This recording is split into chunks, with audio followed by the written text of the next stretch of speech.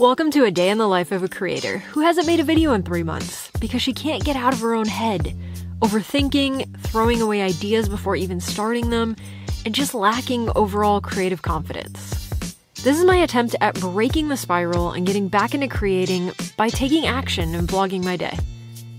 The day started off with a bike ride, a free breakfast because I still have some birthday rewards, and a trip to my favorite international store for all the essentials.